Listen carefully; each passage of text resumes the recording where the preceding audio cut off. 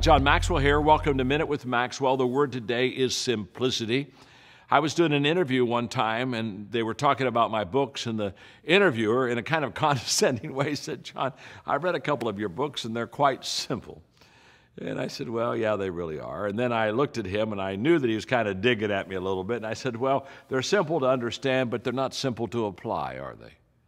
You see, simple only works when we can understand it and apply it. Simple doesn't work if all I do is understand it, but I don't apply it to my life.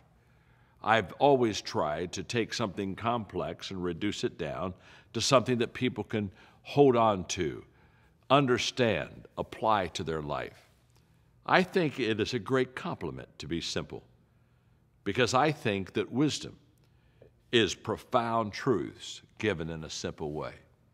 So, my friend, Go out and be simple today. Glad you're with me on Minute with Maxwell.